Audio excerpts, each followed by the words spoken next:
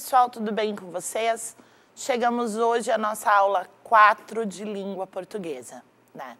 Eu sou a professora Luana Miller, trabalho com vocês então esse componente maravilhoso que é a língua portuguesa. Eu sou uma mulher branca, de estatura média, cabelos cacheados e coloridos de vermelho. Estou aqui nos estúdios da TVE usando a camiseta do projeto, que é uma camiseta na cor magenta. Vamos hoje então falar um pouquinho sobre o nome das coisas. Tá? Eu comentei com vocês na nossa aula 3, que era uma aula sobre patrimônio linguístico, sobre evolução da língua, que eu ia retomar com vocês aqueles conceitos do Socir para a gente falar um pouquinho sobre aquele último, aquela última dicotomia que a gente não tinha falado ainda, que era de sintagma e paradigma. Então hoje a gente vai fazer exatamente esse estudo o que, é o signo linguístico, o que, é um sintagma e o que é um paradigma. Professora, que nomes difíceis, socorro. Calma, gente. Até o final da aula vocês vão estar, ó, craques no que, que é isso. Mas eu começo perguntando para vocês, eu já falei sobre a importância da gente se perguntar, né? A gente só aprende quando a gente se questiona. Então eu começo questionando vocês, se vocês já pararam para pensar por que, que a gente chama as coisas pelos nomes que elas têm, né? Por que, que eu chamo camiseta de camiseta, óculos de óculos? Por que, que eu dou nomes? Por que, eu dou esses nomes para essas coisas?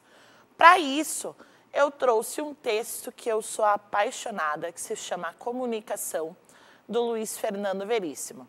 Para não ficar meio estranho e eu ler o texto sozinha, eu vou convidar para participar aqui comigo nessa leitura do texto o colega Lucas de História, né? Para fazer essa parceria aí comigo nessa leitura. Tudo bem, Lucas? Tudo bem, Luana? Tudo. E aí, pessoal, tudo bem? Eu sou o Lucas, sou professor do componente de História. Eu sou um homem branco, tenho cabelo curto, castanho escuro, uso barba também castanha, estou com a camiseta do projeto na cor magenta e o fundo aqui atrás é branco. Obrigado pelo convite, prof. Eu que agradeço.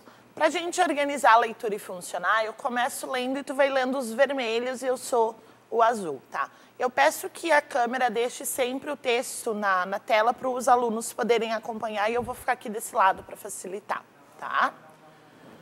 É importante saber o nome das coisas, ou pelo menos saber comunicar o que você quer. Imagine-se entrando numa loja para comprar um. Um, como é mesmo o nome? Posso ajudá-lo, cavalheiro? Pode. Eu quero um daqueles, daqueles. Pois não? Um. Como é mesmo o nome? Sim. Pomba. Um, um. Que cabeça minha. A palavra me escapou por completo. É uma coisa simples, conhecidíssima. Sim, senhor.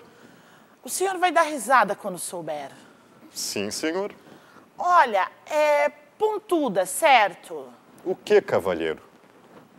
Isso que eu quero, tem uma ponta assim, entende? Uh, depois vem assim, assim, faz uma volta, aí vem reto de novo. E na outra ponta tem uma espécie de encaixe, entende? Na ponta tem outra volta, só que essa é mais fechada. E tem um, um, uma espécie de, como é que se diz? De sulco um sulco onde encaixa a outra ponta, a pontuda, de sorte que o a o negócio, entende? Fica fechado. É isso. Uma coisa pontuda que fecha, entende? Infelizmente, cavalheiro. Ora, você sabe do que estou falando. Estou me esforçando, mas. Escuta, acho que não podia ser mais claro. Pontudo numa ponta, certo?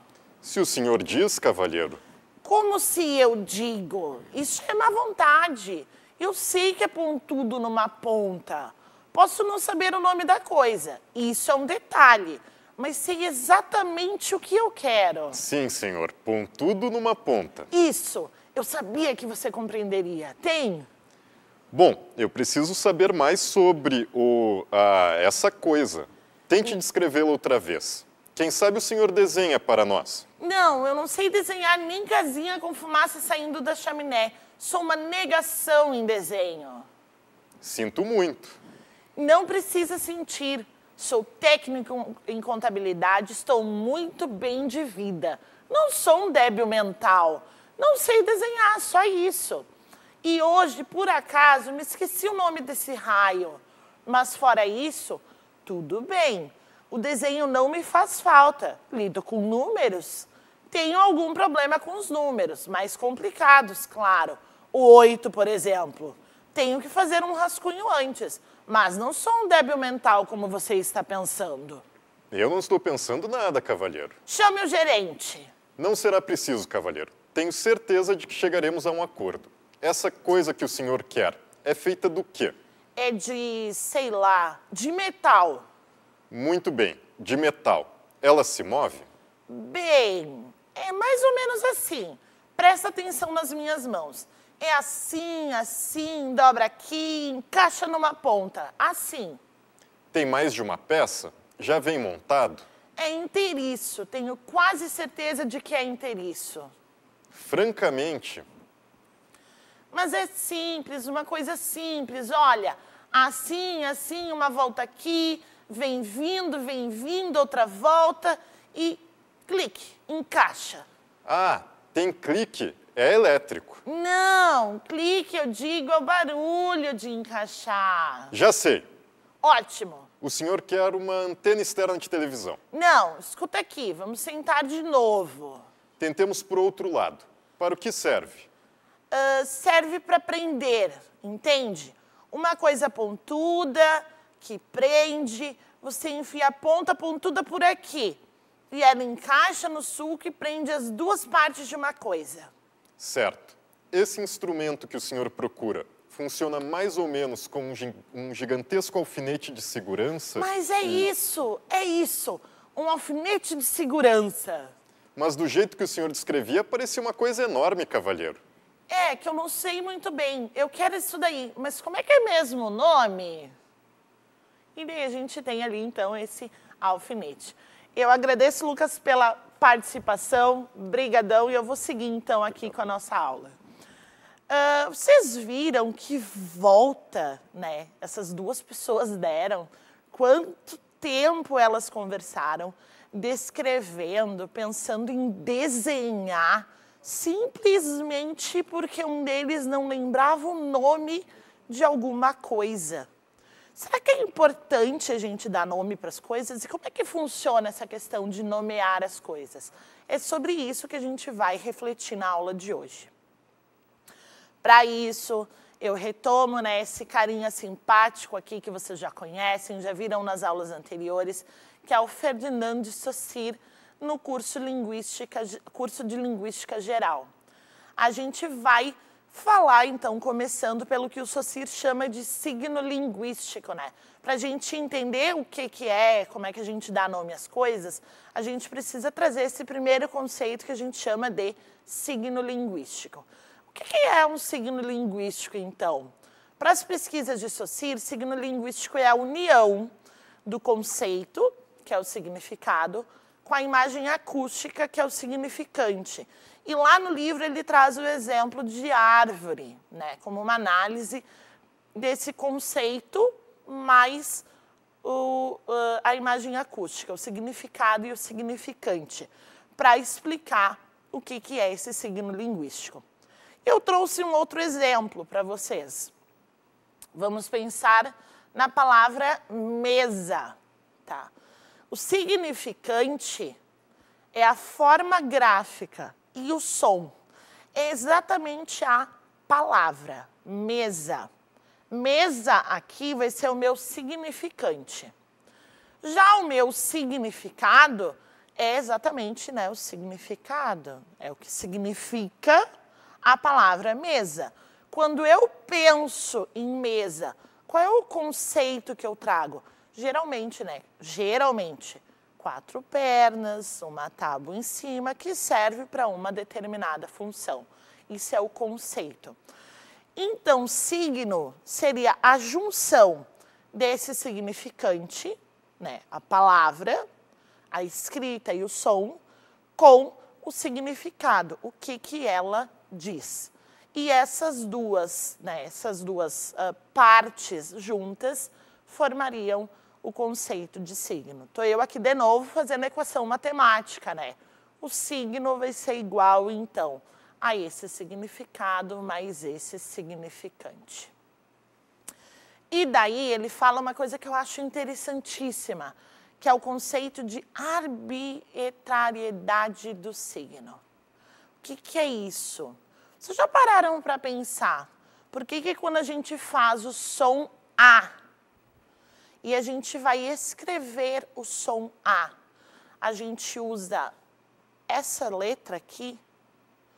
Ou se a gente for pensar em letra cursiva, né? Cada um tem uma maneira de escrever, porque a letra ela é própria. Mas a gente configurou o desenho da letra A assim, assim, ou aquele A né, de letra cursiva que a gente faz. Vocês já pararam para pensar por que, que a gente diz que isso daqui tem som de A? Ou quando a gente pensa na palavra árvore, por exemplo, né, que é o exemplo que ele traz lá. Por que, que quando a gente pensa na palavra árvore, geralmente é isso daqui que vem na nossa cabeça? De repente alguém pode pensar, sei lá, um coqueiro, mas o, o desenho primeiro que geralmente vem na cabeça das pessoas é isso aqui, é um tronco com folhas né, em cima. Socir vai nos dizer que existe uma coisa que se chama arbitrariedade dos signos. O que, que é isso? Não existe um motivo específico que a gente possa dizer que a letra A tem esse desenho. Ou que isso daqui se chame árvore. Para que a gente possa se comunicar, a gente convencionou, enquanto uma comunidade, um desenho, porque as letras nada mais são do que desenhos. A gente convencionou que este desenho aqui representa este som. E que a junção do desenho tal com desenho tal representa uma uh, sílaba e que a junção da sílaba tal com a sílaba tal representa uma palavra e que essa palavra representa este significado. Tá? Então, o Sucir vai nos dizer que isso daí é totalmente arbitrário, que não existe um motivo para que isso exista, mas que é necessário que se tenha essas convenções para que a comunicação funcione. E lembrando que comunicação é o assunto lá da nossa primeira aula, né? Então, se vocês querem entender um pouquinho mais sobre comunicação e linguagem, retoma lá a aula 1 e assiste na TVE e assiste também no YouTube, tá? E daí eu trago para vocês de novo esse fluxograma que vocês que estão acompanhando aí as aulas já conhecem, mas hoje a gente vai falar exatamente sobre sintagmas e paradigmas. Professora, que nome difícil! O que, que é sintagma e o que, que é paradigma? Calma, a gente chega lá. Vamos olhar esse exemplo aqui. Eu acho esse exemplo fantástico. A gente tem aqui uma frase. Eu canto porque sou feliz, tá? Eu tenho outra frase, eu tenho várias frases embaixo. Eu vou aqui nessa segunda. Tu mudaste, mas continua linda. Ou ele gostou, porém ficou confuso. O que, que essas frases todas têm em comum? Aqui a primeira palavra é um pronome, a segunda é um verbo, a terceira é uma conjunção, a quarta é um outro verbo e a quinta aqui é um adjetivo. Todas essas frases, elas são organizadas da mesma maneira, usando as mesmas classes gramaticais. E a gente tem aqui a troca, por exemplo, de um pronome por outro, de um verbo por outro. A organização delas é a mesma e aqui a gente faz a troca de um termo por outro. Essa, esse eixo aqui, de cima para baixo, nesse caso, a gente chama de eixo do paradigma. O que, que é isso? As, todos os pronomes poderiam entrar aqui e completar aquela lacuna que fica naquela frase. todos os verbos poderiam entrar neste eixo aqui e completar esta lacuna que fica aqui nesta frase. Ou aqui no final, por exemplo, todos os adjetivos ficam aqui e poderiam completar esta lacuna. Quando a gente pensa nas palavras com as características que elas têm, a gente está pensando em paradigma.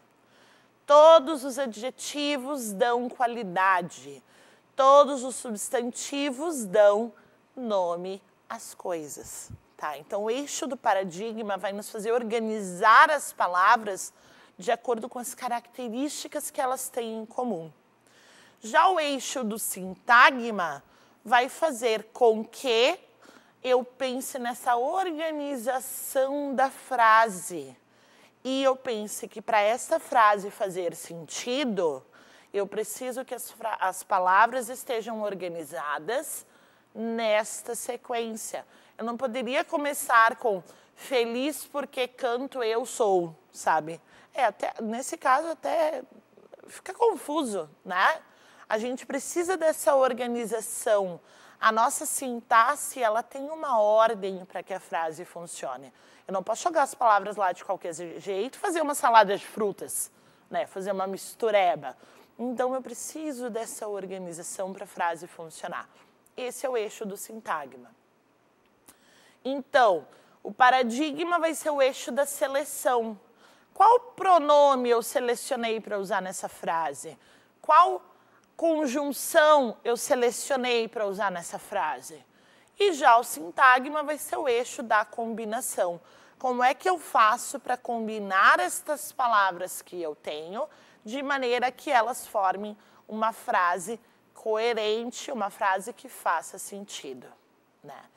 E daí a gente vai chegar então às nossas uh, classes gramaticais.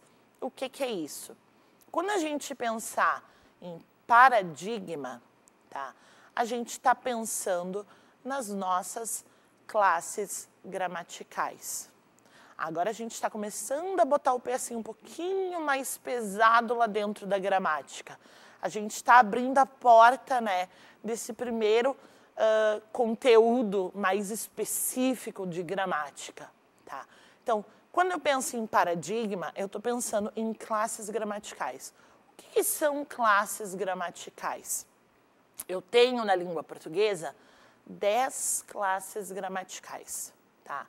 E dentro dessas 10 classes gramaticais, eu tenho algumas que são variáveis e outras que são invariáveis. O que, que quer dizer isso?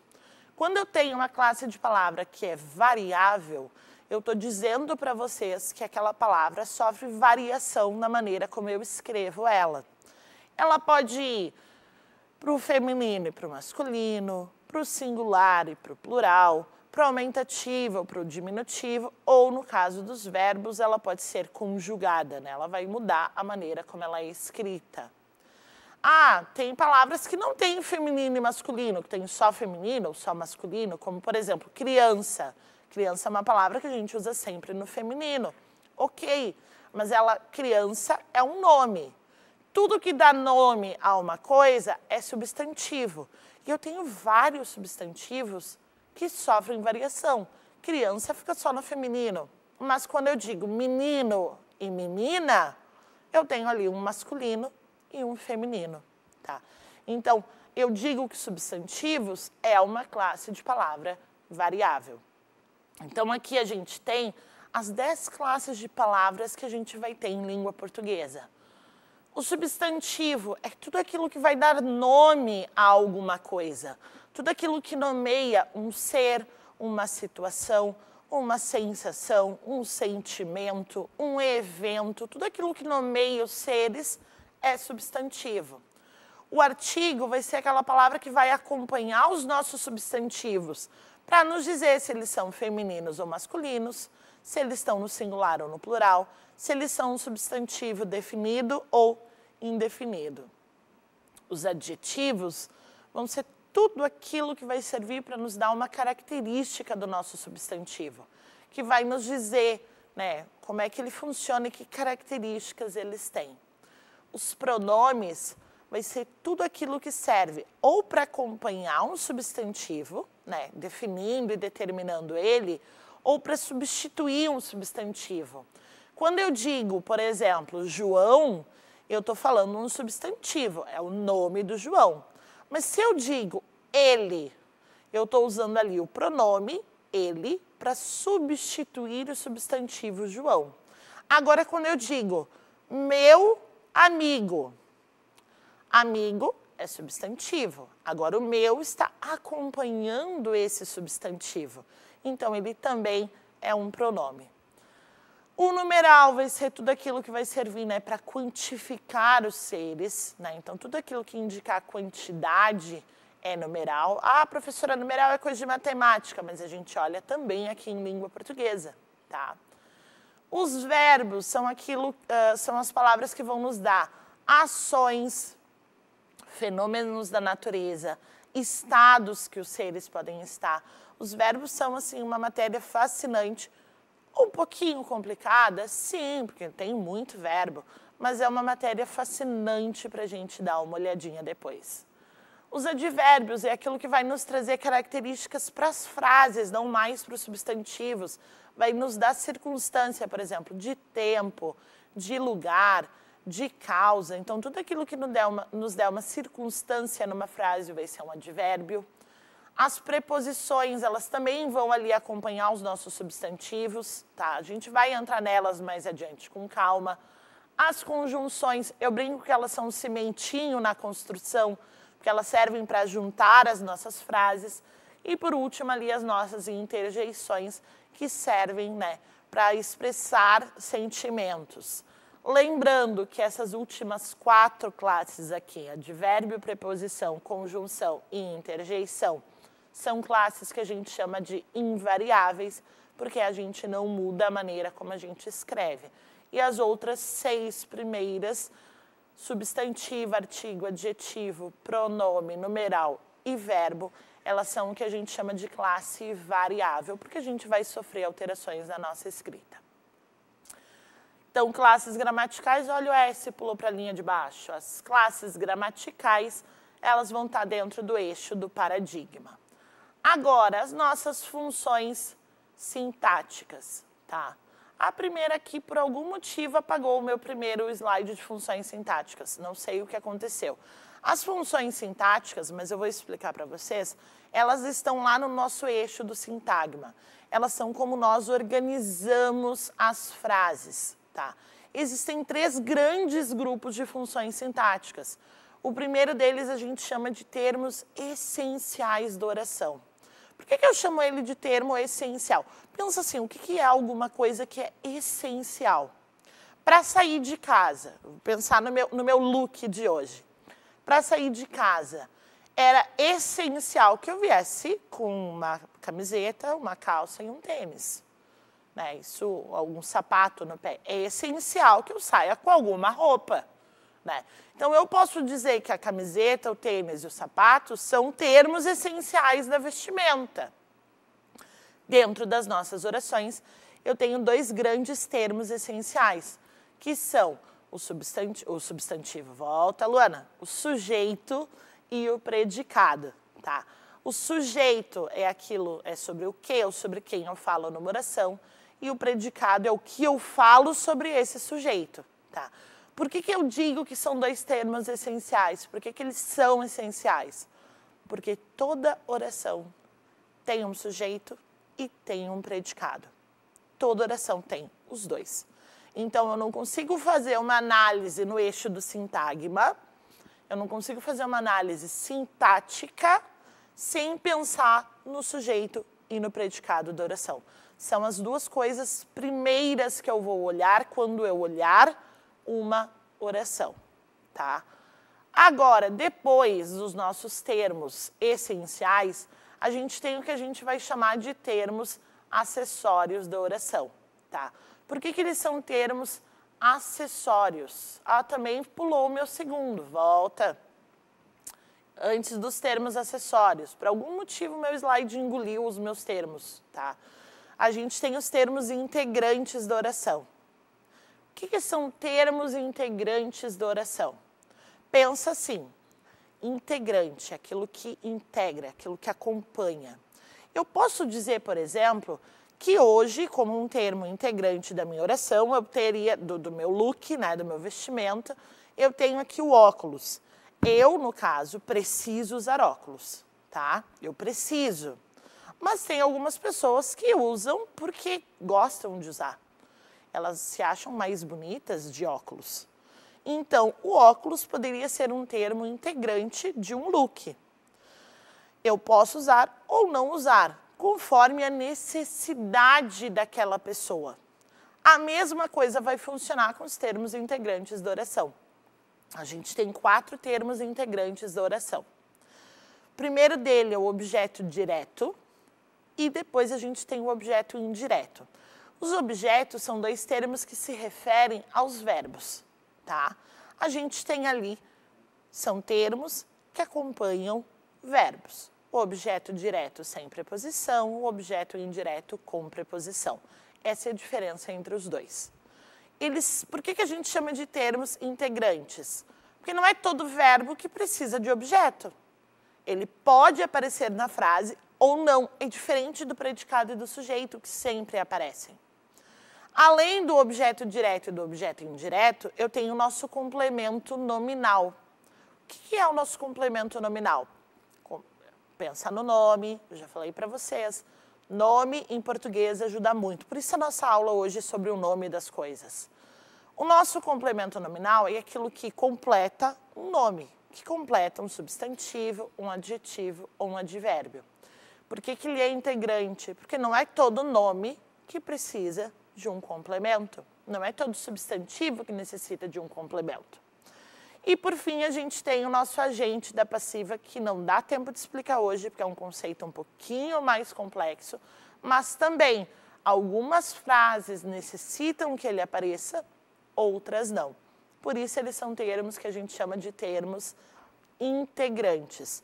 No caso de necessidade, eles aparecem. Caso não seja necessário, eles não vão ser convocados a estarem ali, tá? É o mesmo exemplo aqui, por exemplo, do óculos, né? Para quem precisa, ele tem que estar. Para quem não precisa, ele é um termo que, se vocês quiserem colocar por estilo, beleza. Por fim, a gente tem os nossos termos acessórios da oração. Agora sim, né, apareceram, que são três o adjunto adnominal, o adjunto adverbial e o aposto. O adjunto adnominal vai ser aquilo que vai servir para acompanhar os nossos substantivos nas frases, dando características a mais. Os adjuntos adverbiais, eles vão servir para trazer circunstâncias para as frases e o nosso aposto é uma explicação a mais sobre algo que foi dito na frase. Por que, que eles são termos acessórios? Se eu digo, por exemplo, eu vou trazer um exemplo aqui de adjunta adverbial. Se eu digo, hoje falamos sobre o nome das coisas. Eu poderia simplesmente dizer, falamos sobre o nome das coisas e suprimir né, a palavra hoje. E ainda assim a minha frase estaria completa. É um termo acessório, ele traz uma informação a mais, ele é importante no final, mas ele não é tão necessário quanto um termo integrante ou quanto um termo né, essencial. Eu poderia usar aqui como exemplo essa faixinha que eu tenho no cabelo. Ah, hoje eu decidi colocar ela no cabelo, mas tem outros dias que eu não uso. Ela é um acessório, assim como um brinco, um anel, um colar, tá? Então, chegamos né, ao finzinho da nossa aula de hoje. A gente entendeu por que é importante a gente nomear as coisas.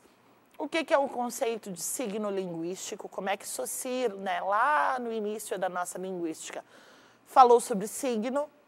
A gente entendeu o que, que é um estudo né, de sintagma e de paradigma, sendo paradigma esse eixo das classes gramaticais e o sintagma o eixo das funções sintáticas, que é o que a gente estava olhando até agora. E a gente chega então ao final dessa aula entendendo a importância de se entender os signos linguísticos e dessa organização deles dentro de uma oração. Eu espero vocês na nossa próxima aula, vai estar muito bacana sobre linguagem literária ou não literária, aula 5. Me acompanha lá. Partiu passar?